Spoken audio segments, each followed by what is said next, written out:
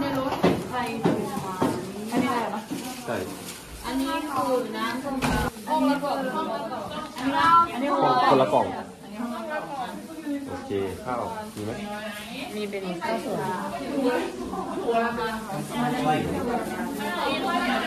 มีทั้งข้าวสวยแล้วก็ข้าวเหนียวไงแจกตามหน้าตาแจกตามหน้าตาข้าวหมูยองแบบที่เราเอาอะไรข้าวเหนียวข้าวเหนียวหนูอะข้าวเหนียวก็ได้